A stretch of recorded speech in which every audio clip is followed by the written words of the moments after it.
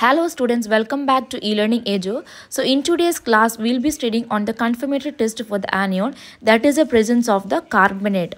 So first is a preliminary test. By the preliminary test, you will be getting an idea. So after that, if the salt is carbonate, take a pinch of salt in the test tube and add dilute sulfuric acid. So here you can see the presence of brisk effervescence, right? So if there is a brisk effervescence, then uh, it confirms the presence of carbonate. So it is a type of confirmatory test add a pinch of salt in the test strip and then add dilute sulfuric acid to it. If you observe the presence of brisk effervescence then it might be carbonate.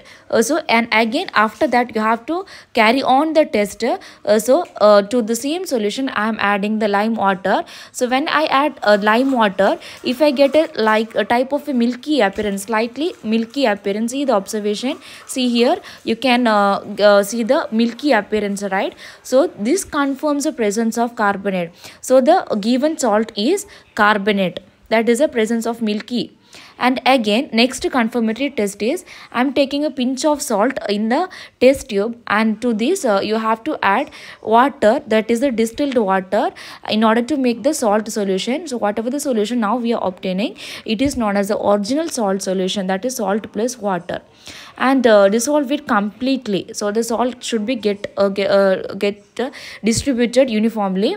And after that uh, you have to add barium chloride to this uh, salt solution. See here i'm adding barium chloride um, observe it carefully. So you can see the presence of white precipitate right? So after adding barium chloride if you get the white precipitate then it indicates the presence of carbonate. So the carbonate is confirmed.